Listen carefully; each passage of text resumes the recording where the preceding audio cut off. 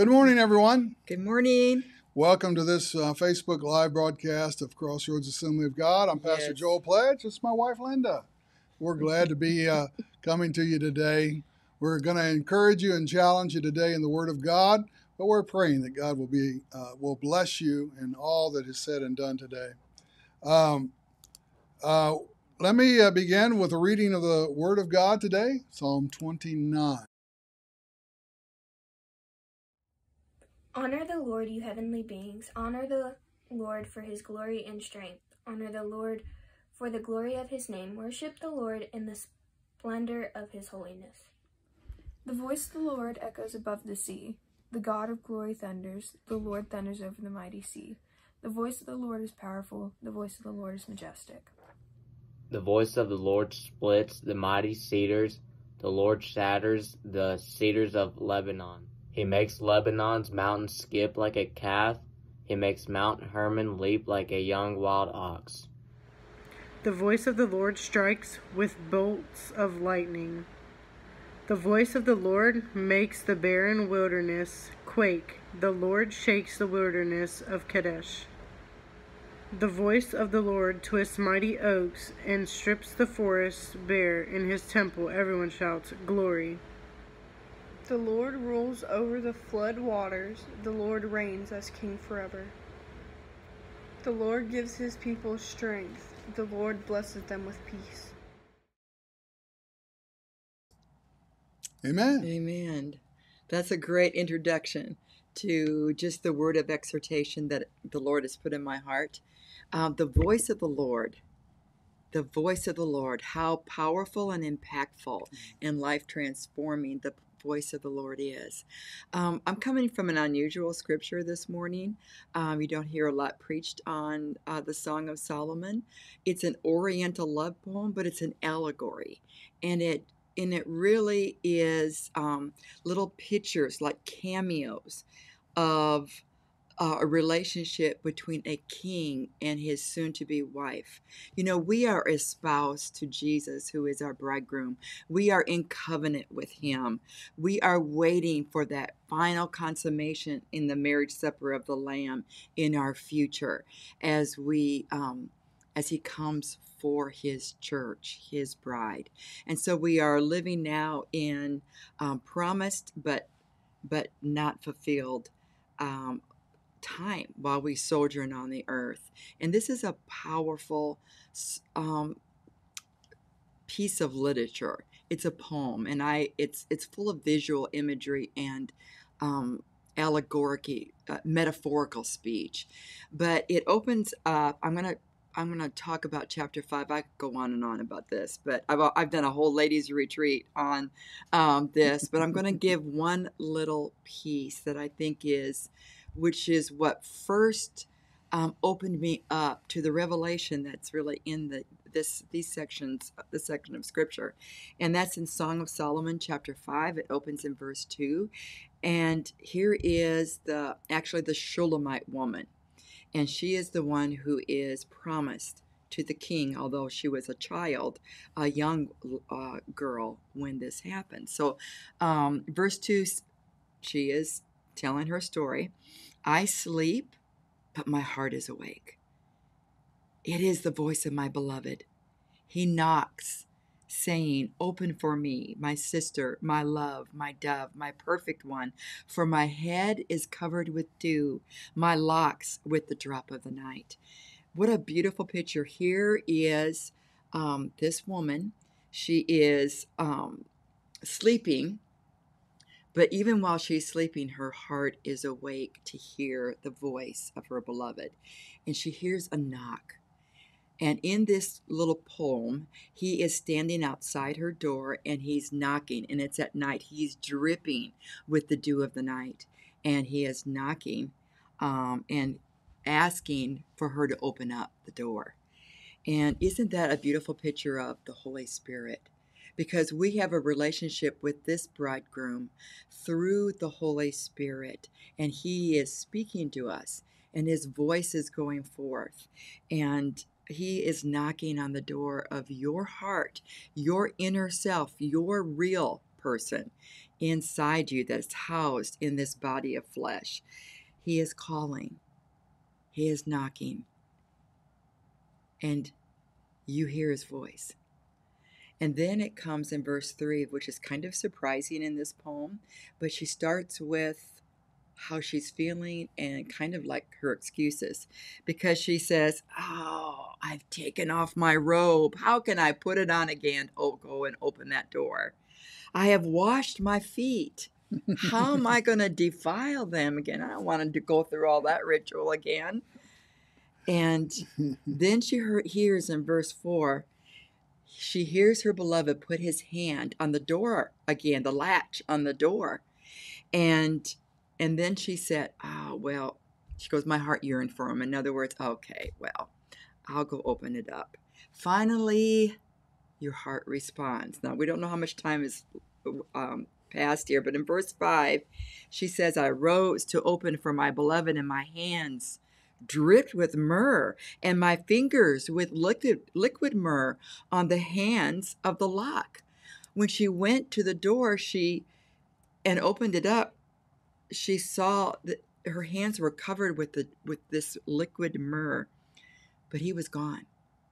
She said, My beloved had turned away and was gone. This image in my head, this picture in my head, so impacted me because Jesus is coming to us full, with his hands full of the dew of God, dripping with the myrrh of his presence, the blessings, the richness of his insight, wisdom, and revelation that he has to impart to us, just the love that he's desiring to give to us, to just enshroud us in the very love of God and to fill our lives with the riches of his glory. He comes dripping with dew and full of this this myrrh of God. And we have turned him away. He he comes to us like this.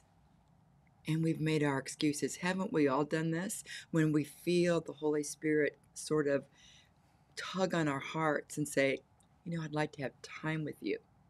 I miss you. I have something to say to you. I have we we get too comfortable. We go, "Oh, no, I got to sleep in. I want to sleep in."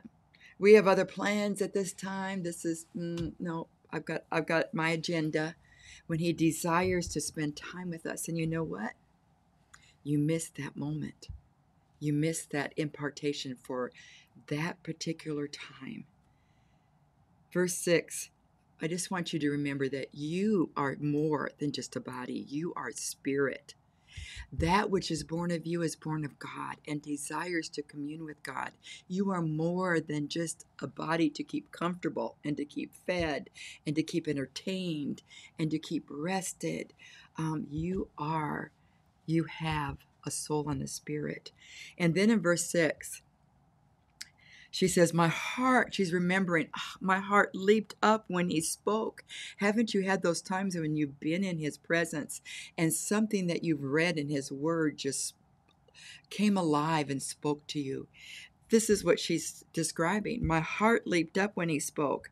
I looked for him, but I could not find him. I called him, but he gave me no answer. There is a spiritual dynamic in your relationship with the Lord.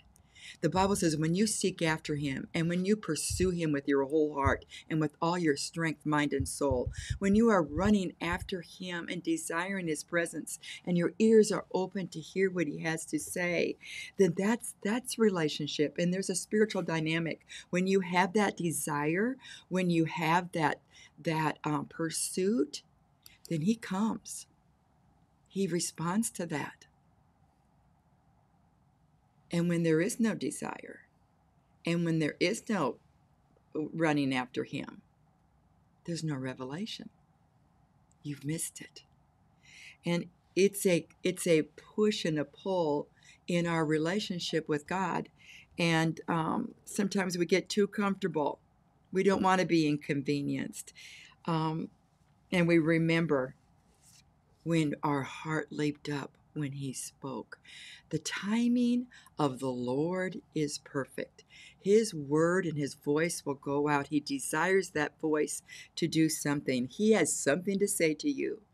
He has something to impart to you and to give to you. He has a, a transformative work to do in you. He has such a desire for you to come to him so that he can he can bless you. He's a generous God. He comes full of the myrrh and the dew of his presence. Don't miss your moment, church. You have the things of God are timed perfectly, and sometimes we miss the moment. It won't come in that same way ever again because he's moved on. So it's a it's a dynamic relationship. It's not a static one. It's about him and the timing of the Lord and feeling responding to that tugging in your heart.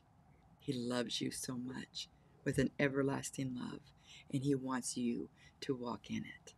Amen. Amen. We're going to worship the Lord in uh, one of my favorite uh, song selections, Jesus Yes. Messiah.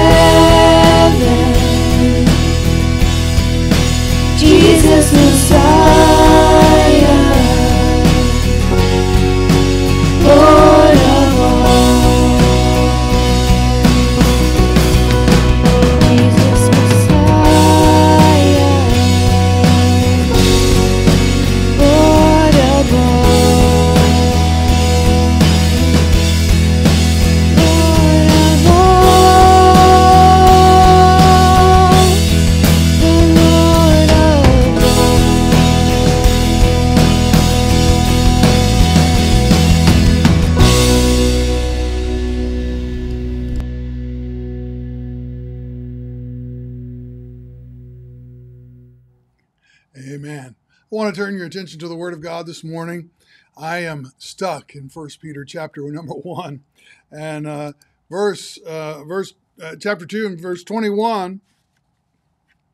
Um, it's uh, for me uh, for for God called you to do good, even if it means suffering. Just as Christ suffered for you, He is your example, and you must follow in His steps. Amen. Well, um, what does it mean to follow follow Christ? I may just throw a few things out there to you, and and uh, again, this is one I, uh, one of those things of maybe having fun. I don't know. Uh, what does it mean to follow Christ? Well, you know, for some people, it's just going to church. I'm following Christ. I go to church. I, I learn a little bit from the sermon. Maybe I'll forget it by uh, Tuesday afternoon, but I'm gonna I'm gonna go to church. For other people, it's a it's a life of prayer, maybe even prayer and fasting, something that we do on a regular basis. Every day, we're going to pray. We're going to fast. Uh, the Jews in Jesus' day like to fast once a week, at least, sometimes twice, if you're really really holy. Others will call it the Word of God. Oh well, I'm reading my Bible. I'm studying. I'm I'm uh, participating in small groups. This proves that I am a follower of Christ. Well, there's a, a lot of different things that come to come to bear upon us as we talk about this meaning of what it of, of following Christ. You know, uh, John says this, or Jesus says this in, in, the Gospel of John, chapter 13. And um, he says this He says, Now I am giving you a new commandment, a new commandment. Love each other. Just as I have loved you, you should love each other. Your love for one another will prove, let's see which way I need to go, that to the world that you are my disciples. Oh, well, that's a powerful verse of scripture. Jesus doesn't say to them, You'll prove your discipleship or you'll prove that you're my follower by going to the synagogue or by praying three uh, every day, three times a day, or fasting three times a week. That's more than the Pharisees required. He didn't say to them that they must become students of the Torah to memorize the Old Testament book, first five books uh, to memory, memorize it. He says to them, Love one another. Just as I have loved you, you are to love one another. And by this, all people will know that you're my disciples. If I ask the question of what is the basis of this command, what is the basis of this command? The first thing that I would point out to you is, is that, well, this is how Jesus loves. Jesus loves because as he loves us, we are to love others. I think as well, he, he may say to us, um, I, I love you, and my love for you should free you to be able to love others. Okay? So it's what Jesus has done for us. He has loved us, we love others. It's also true that the second basis of that command um, is that the Father, okay, the Father has loved us. This is how the Father has loved Jesus. Okay. Well, let me let me get there. I, uh, my uh, my my slide went in reverse instead of forward. I couldn't figure it out. It says in John 15 verse 9, he says, "I have loved you even as the Father has loved me. Remain in my love." You ever heard those words before? In other words, Jesus says, I've experienced the love of my Father, and now I'm just loving you with that same love. The way I was loved, I'm going to love him. I am going to love him. I'm going to love you. This is so important because uh, we see that the Father's love for Jesus is, is measureless. How, at this point of the story, we can't see it. Okay? At this point of the story, we, we can't see it directly because the, the, the measureless love of God the Father for the Son is really going to be seen in the resurrection of Christ, that He will not allow Him uh, to remain in death, that He's going to give life to Him, a resurrection body, a, a place at His right hand, a name that is above every name. Uh, every name, every, every knee will bow, every tongue will confess that Jesus Christ is Lord. That's what the Father did for him. He gave him that name. He gave him all rule and authority and power and placed all things under his feet. Okay? All things under his feet. So I know that the Father loved the Son dearly without measure. He held nothing back. I want to add to this to this idea and understanding from the Messianic Psalm number two, Psalm 2 and verse 8 says, Only ask, and I'll give you the nations as your inheritance, mm-hmm. and the whole earth as your possession. Okay? So, in that relationship, the Father asked the Son for the universe or for the whole earth. He knew that asking for that inheritance meant going to the cross, being obedient unto death. The promises of John 15 are clearly seen. Okay? As we follow Christ, as we are obedient to the commands, we remain in His love, then a whole new range of possibilities open us, uh, uh, uh, possibilities with God open for us. Not because of who we are, but because of who He is and what He's called us to do. Jesus followed follows the example of the Father. He loved the way the Father loved him, and in doing so, the Father rewarded him. Let me tie a couple of verses together. Um, first off, you, you have John 15 8. He says, When you produce much fruit, you are my true disciples, and this brings much glory to God. Fruitfulness implies ministry, okay? It just it implies service. I've I'm a branch on that vine. What's in that uh, vine is coming to me, and it produces fruit in my life. I'm enabled to minister. I'm enabled to serve. Whatever we see Jesus doing, we should be able to do. If we see Jesus serving others, we ought to be able to serve others. If we see Jesus loving others, then we ought to be able to love others. If we see Jesus obeying the Father, even though it's uh, leads to suffering and pain, then we should be able to obey the Father. The next verse, the verse previous to this, is a promise verse, one of the great promises that Jesus gives to us. If you remain in me and my words remain in you, you may ask for anything you want and it will be granted. You say, where does Jesus get that teaching? I mean, he just kind of throws that out there. What a great promise. Well, it's because of the way the Father has treated him. The Father has loved him. The words of the Father have remained in him. The love of the Father has remained in him. Jesus obeyed to the detriment of his own life. And yet he asked, Father, give me the nations for my inheritance, this whole earth for my possession. And the Father did.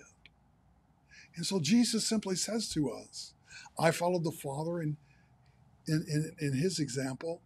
Now you follow me in my example, and the same things are going to take place. You see that parallel? That's a powerful parallel. Uh, you, you, know, we do a lot of things. Oh, you got to have faith, or you got to be living right, or you got to be this or that. I think that you follow in his steps. You follow the steps of Jesus. You do what Jesus did in his relationship with the Father, and these things will come to pass for us.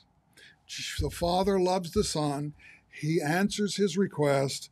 The Son loves the disciples. The church, he loves his church, and he answers their request. The Father that gave all things unto Jesus promises to treat us in the same way if we truly follow Christ. Well, let me make it a little bit harder and let me take it one step further. Peter, in our verse, is calling us to follow in the steps of Christ. Jesus is loving as the Father has loved him. We see this. Well,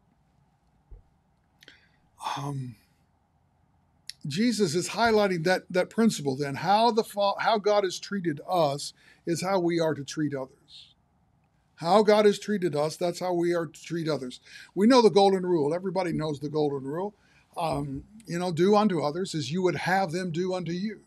Well, that's a good rule and that's a powerful statement. But you know, the fact of the matter is, is that there's an underlying statement that's even a greater, uh, uh, I think, a greater call for us, and that is how what God has done for you, you go and do for others. What God has done for you, you go and do for others. Have you been loved by God? Well, then go love others. Have you been forgiven by God? Then, hey, go and forgive others. Remember, um, um, remember the parable that Jesus gives about the about the um, what it, what was that that that um, that unforgiving servant. You know, he he he owed billions of dollars, more money than he could ever pay back in a lifetime, and he goes to the goes to the banker or whoever he owes the money to. I, we'll call him a banker. And he says, Oh, you know, just give me time. Just give me time. I'll pay it back. I'll pay it back. And he's never going to pay it back because there's not enough time in the universe to pay back what he owes. So the banker just simply says, oh, I'm just going to forgive it. I'm going to, I'm going to move on. I, he's not a very good banker because he, he needs to get something out of the deal, but for the sake of the story, he forgives the man. More money than he'd ever make in a lifetime. Well, the man goes, he leaves that uh, audience with the banker, and he goes down to uh, somebody he loaned 20 bucks to, and he says, Hey, man, uh, where's my 20? The guy says, Oh, you know, I don't have it today, but I'll, I'll get it to you. I'll get it to you. I promise. I promise. And, and as in those days, you could throw a man in jail for the debt. And so he says, Hey, I'm just going to throw you in jail waiting, and, and, and as soon as you pay me, I'll get you out. Of course, when the master heard this about this unforgiving servant, he says, hey, I'm going to throw you in jail until you, until you pay me back. That whole parable is about forgiveness. That as God has done for you, you do for others. God loves you, go love others. God has forgiven you, go forgive others. God has been kind to you, go be kind to others. Okay? Well, Paul teaches this same the same idea as as he says to us to imitate God. To imitate God. Now that's John. He says, uh, he says, well, get rid of all bitterness and rage and anger and harsh words and slander as well, all kinds of evil behavior. That's some good advice there. He gives the instead. Be kind to each other, tenderhearted, forgiving one another, just as God, through Christ, has forgiven you. What has God done for you? You go do to others. If you'll do that, then these bitterness, rage, and anger and harsh words, they'll all be gone because they cannot exist with forgiveness.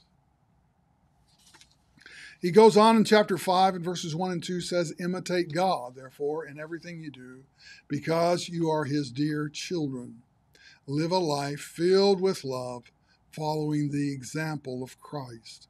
He loved us and offered himself as a sacrifice uh, for us, a pleasing aroma to God. What a powerful set of verses.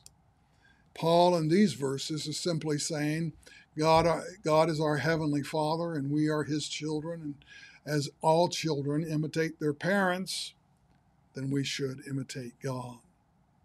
It's a very powerful thing. Whatever you see in Christ, our elder brother, you go and do. That principle is found throughout Scripture. It's through it's it's it's a foundational principle. What God has done for us, go and do for someone else. You know, in Matthew um, chapter five, in the Sermon on the Mount, um, Jesus goes through the Torah. He goes through six commands of the Scripture, and he begins with uh, "Thou shalt not murder," and he'll talk about adultery. He'll talk about uh, divorce, and that's not in yeah, that's in the Torah. Uh, divorce and the giving of vows, making of vows, and he'll end up on the the command to love your neighbor And um, let me let me show it to you and read it to you. It says this: "But you have heard how it was said how, that the law says, love your neighbor and hate your enemy. But I say, love your enemies. Love your neighbor, love your enemies. Pray for those who persecute you." In that way, you will be acting as your true children of your Father in heaven. There again, same thing that Paul did, Jesus does. For he gives, this is what God does, he gives sunlight to both the evil and the good. He sends rain on the just and the unjust alike. And if you only love those who love you, what reward is there for that? Even the corrupt tax collectors do that much. if you're only kind to your friends, how are you different from anyone else? Even the pagans do that. But you are to be perfect, even as your Father in heaven is perfect. Well, there again, we have that calling, that principle, the perfection of the Father we are to follow. Okay? It can be viewed as a command, it can be viewed as a prophecy, it can be viewed as a as uh, um, as a promise. Okay, um, um, he, can be commanding you to be perfect. He can be promising that you will be perfect, or he can be uh, he can be um, prophesying in the future that it will take place on the day of judgment. But listen, let me tell you something. This passage of Scripture has confounded the, study, the students of the word for generations upon generations. I want to I want to emphasize two things this morning in this verse, and that is, first of all, that the command is to follow the Father in heaven. His example, how he treats people, how he loves people, that's the example that you're to follow. Now, this, this fits very nicely into Peter's command to follow in the footsteps of Christ. The command we hear of loving your enemies on, on one level for us, practically impossible to fulfill. But this is how God acts in his creation. He loves his creation. He loves us. And so he is he is calling us, leading us, giving us an example of how and to whom we love. Secondly, I believe that this is the ultimate expression of the love of God. The ultimate expression. God loves the world even though some of the world will never love him in return. We know John 3:16 God so loved the world that he gave his only begotten son. Okay? That he gave. He so loved the world.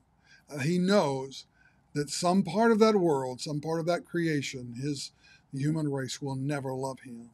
Matter of fact, he loves them even though he knows that some of them will not even acknowledge that he exists, much less that he's a neutral figure out somewhere in space I don't want to love. They'll just say he doesn't exist.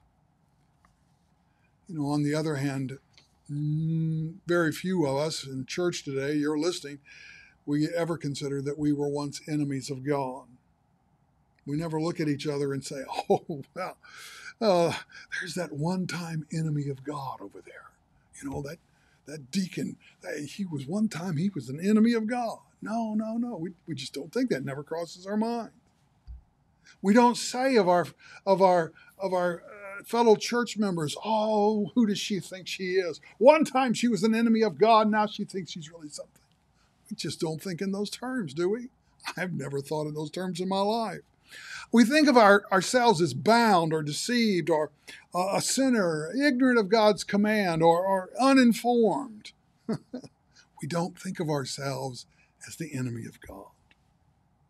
But let me share with you from Romans, Romans 5 this morning. Romans 5. I love this verse. It's one of my favorites. Verse 8, 5 8 God showed his great love for us by sending Christ to die for us while we were still sinners. Amen. We can say amen to that. God has demonstrated his love for us. We know God loves us because Christ died for us.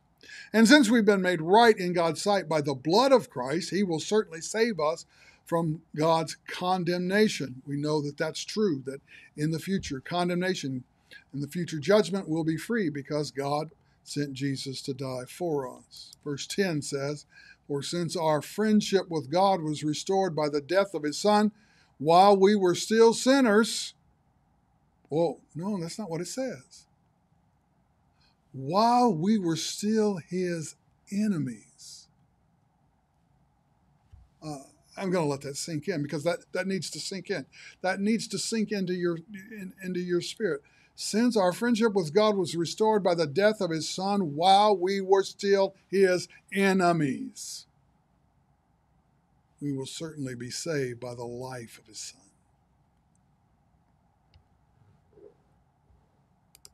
He concludes this, but now we can rejoice in the wonderful new relationship with God because of our Lord Jesus Christ has made us friends with God.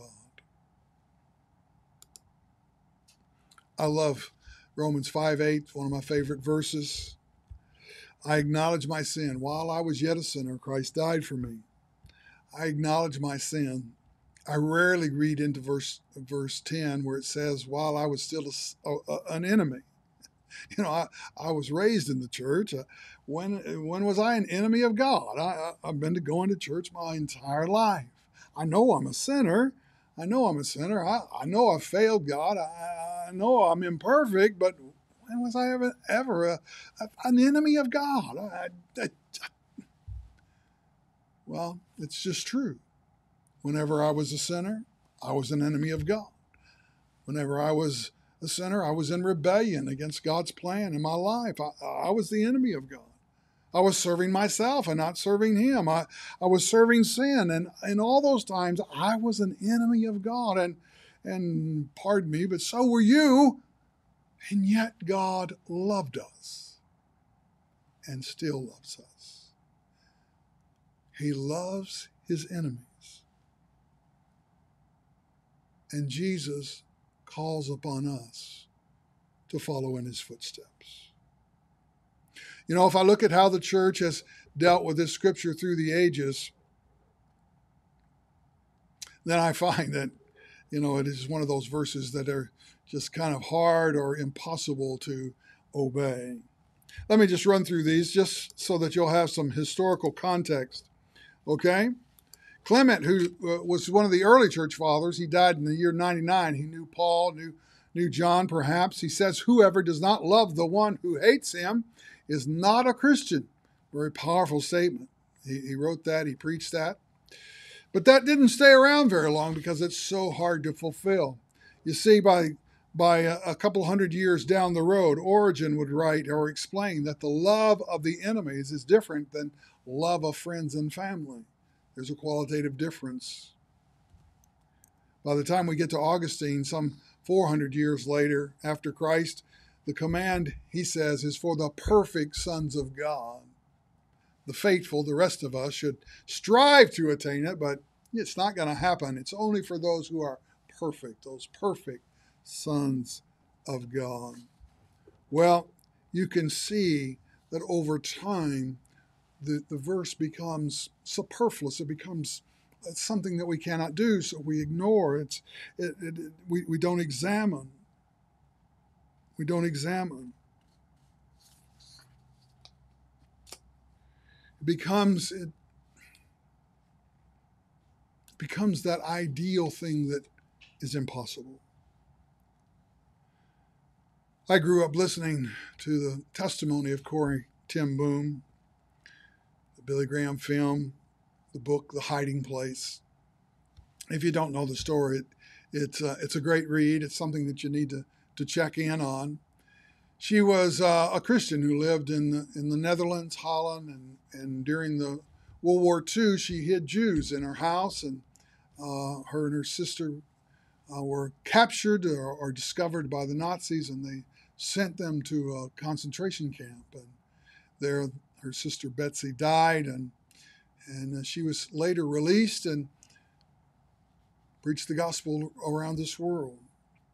She says in 1947 she was preaching in a church in Munich and she was preaching on forgiveness. She said it was easy for us uh, Hollanders to to to visualize because they lived right there on the on the sea and on the ocean. And she says, you know, when God forgives you, He He throws that sin into the deepest part of the ocean. It's gone forever.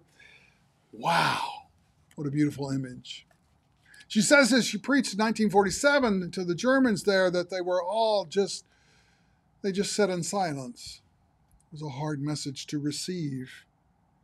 People stood in silence, people left in silence, they never asked a question, they never were excited about what God had spoken. But then one in one meeting, she said she saw a man coming forward to talk to her that she recognized. She recognized. She says it all came back to her in a rush a huge room with its harsh overhead lights, the pathetic pile of dresses and shoes in the center of the floor, the shame of walking naked past this man. I could see my sister's frail form in front of me, the ribs sharp beneath the parchment skin. Betsy, how thin you were. She says Betsy and I had been arrested for concealing Jews in our home during the Nazi occupation of Holland. This man, the man coming towards her, had been a guard at Ravensbrück concentration camp. Now he was in front of me, hand thrust out. A fine message, Fräulein. How good it is to know, as you say, all our sins are at the bottom of the sea. She says, and I, who had fumbled, spoken so glibly of forgiveness, fumbled in my pocketbook rather than to take his hand. He would not remember me, she said. How could he remember one prisoner among those thousands of women? But I remembered him and the leather crop swinging from his belt. It, had been th- it was the first time since her release that she had been face to face with one of her captors. And she says, My blood seemed to freeze. The man says, You, you mentioned Ravensbrück in your talk. I was a guard there. And since that time, I've become a Christian. And I know that God has forgiven me for the cruel things I did there but I would like to hear it from your lips as well. Fräulein, again his hand waiting, will you forgive me? She said she stood there. I, whose sins had every day been forgiven. She could not move her hand. Betsy had died in that place could he erase her slow, terrible death simply by asking? It could not, uh, it could not have been many seconds that he stood there, his hand out, but to me it seemed like hours as I wrestled with the most difficult thing I'd ever had to do. And I had to do it. I knew I had to do it. The message that God gives about forgiveness is that we forgive those who have injured us. Because if you do not forgive men their trespasses, Jesus says, neither will your Father in heaven forgive you your trespasses. She says, I knew the commandment of God. I knew it as a daily experience. She says, ever since the end of World War II, she had had a, a, Bible study in her home for the victims of, of, of, Nazi, of the Nazi brutality and she led them to forgive. She says, Those who were able to forgive their enemies were also able to return to the outside world and rebuild their lives no matter how, what the physical scars were. Forgiveness brought freedom. She says, on the other hand, those who nursed their bitterness remain invalids. It was as simple as and, and as horrible as that. Don't forgive, you remain in that bitterness, that anger, that depression. You don't function in life. So there she stood that day. Her heart frozen. No warmth, no love towards this man. She says, I understood that forgiveness is not an emotion, it's an action, it's an act of the will. And the will can function regardless of the temperature of the heart. So she cried out to Jesus. She said, Jesus, help me. I can lift my hand. That's all I can do. You've got to supply the rest. You've got to supply the free, the feeling. So woodenly and mechanically, she lifted up her hand and she stretched out his hand to take his. She says, right then, a miracle happened. A current started in my shoulder, raced down my arm, sprang into our joined hands. And then this healing warmth seemed to flood my entire being, bringing tears to my eyes. I said, I forgive you, brother, with all my heart.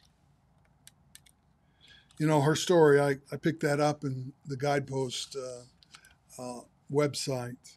It goes on to tell that she thought that by forgiving this man, this tremendous sin, that all other acts of forgiveness would be easy.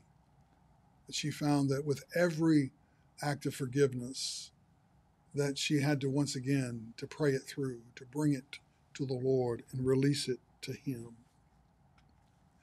I believe if I can bring a little bit of clarity to that command to love your enemies, I, I want to do so by looking at Peter.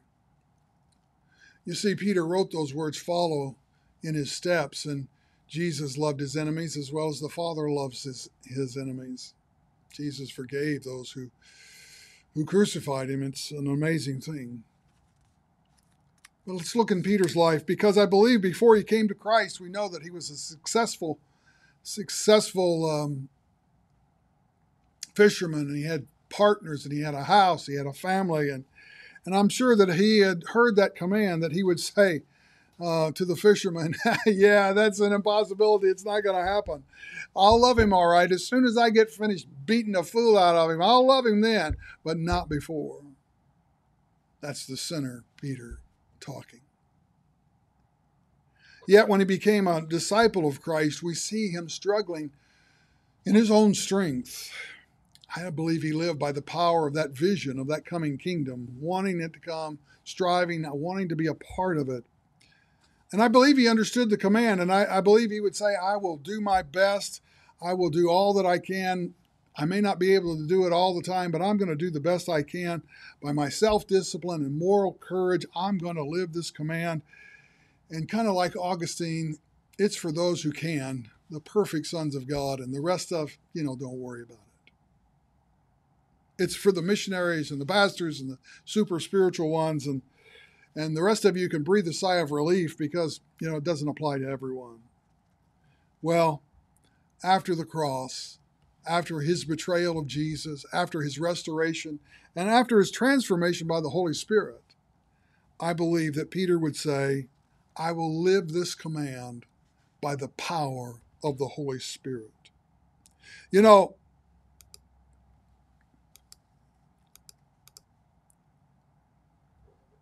he was testifying before the, the Sanhedrin one time, uh, the Jewish leadership of the day, after a miracle had taken place.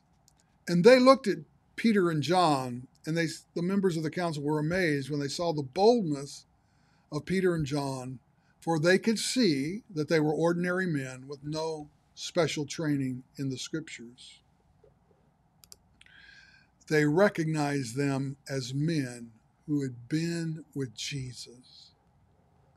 And man, I, I, I put that in bold type so you could see it plainly. They had been with Jesus. You and I have to understand that Peter's testimony would be I've been with Jesus. What Jesus has done for me, I'm going to do for others. What Jesus shows me, showed to me as how he lived, that's how I'm going to live. I'm going to follow in his steps. And he was following in as he as Jesus follows in his father's steps. And I believe that that's what he's saying in 1 Peter. Follow in his steps. It is by the power of the Holy Spirit. I will follow in his steps. And yes, that means respecting everyone. That means loving the family of God, also loving our enemies, fearing God, respecting the King. We all are invited, commanded to follow in the footsteps of Jesus, who was following his Father. And though it seems impossible at times to follow them, it's not. Father, I give you praise this morning, and I just ask that you make real to our hearts the words of Scripture today, those things that are impossible for us. May they be possible through you. Oh God, work in our lives. Give us a heart of love and of forgiveness, of blessing. If there are those who are in those difficult circumstances, those different difficult relationships, Father, I'm praying that you will work in the heart of those who need to love and those who need to forgive.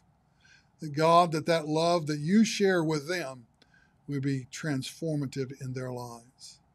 I give you praise in the name of Jesus. Amen. Amen. God bless you. It's been really good to be with you today.